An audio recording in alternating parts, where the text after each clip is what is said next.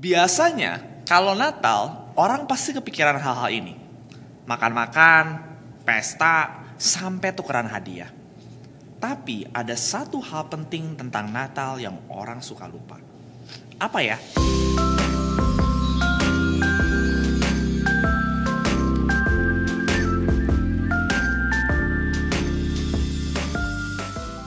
Halo sob, ketemu lagi di Insight.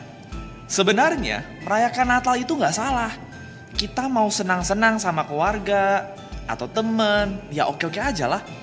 Tapi kalau cuma itu yang kita pikirkan ketika merayakan Natal, we miss a big point.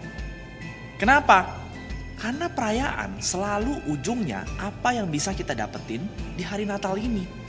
Kita kan terbiasa berpikir, apa nih yang bisa gue dapetin? Sementara esensi Natal justru adalah kebalikannya, memberi. Hah? Memberi? Iya bener. Kalau nggak percaya, coba kita lihat di Markus 10 ayat yang ke-45. Karena anak manusia juga datang bukan untuk dilayani, melainkan untuk melayani dan untuk memberikan nyawanya menjadi tebusan bagi banyak orang. Membaca ayat itu, kita tahu Yesus datang bukan untuk dilayani. Dia nggak datang ke dunia, mikirin apa yang bisa dia dapat dari dunia.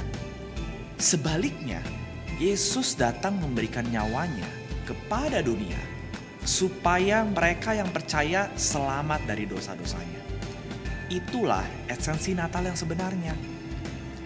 Tuhan Yesus datang ke dunia ini untuk memberi. Bahkan gak main-main, Tuhan Yesus memberikan nyawanya sendiri. Kenapa dia bisa memberi seperti itu? Karena kasihnya buat dunia ini karena kasihnya buat kita. Itulah Tuhan kita. Dia memberi kasih yang begitu besar, bahkan tanpa menyayangkan nyawanya sendiri. Betapa besar kasih yang Tuhan berikan agar kita semua bisa selamat. Itulah mengapa Natal terasa berbeda dibandingkan hari yang lain. Karena Natal adalah peringatan bahwa Tuhan Yesus memberikan kasihnya buat aku dan buat kamu. Di hari yang sangat berbahagia ini, sudahkah kita mencontoh Yesus? Sudahkah kita memberi kasih kepada semua orang? Banyak loh orang di dunia ini yang membutuhkan kasih. Coba deh lihat orang-orang di sekitar kamu. Keluarga, suami, istri, anak, sahabat, teman kerja, apakah mereka bisa merasakan kasihmu? Pertanyaannya, apakah kita akan diam saja atau mau keluar dari comfort zone dan membuat kasih itu nyata bagi orang lain? Dan berbagi kasih itu mudah. Mulai dari nanya kabar, ajak main, berdoa bersama, dan berbagai macam hal lainnya untuk menunjukkan kasih Tuhan kepada semua orang.